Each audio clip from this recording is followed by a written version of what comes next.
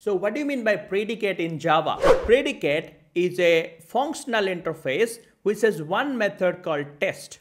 The test can take any types of argument and it returns a boolean back and that's the key thing over here. So here is the requirement. Let's say we'll be getting an input number and we have to check whether it is greater than 0 or not. So we have a class test. Let's implement predicate and let's override the method test. So now we want to accept an integer, change the variable reference to number.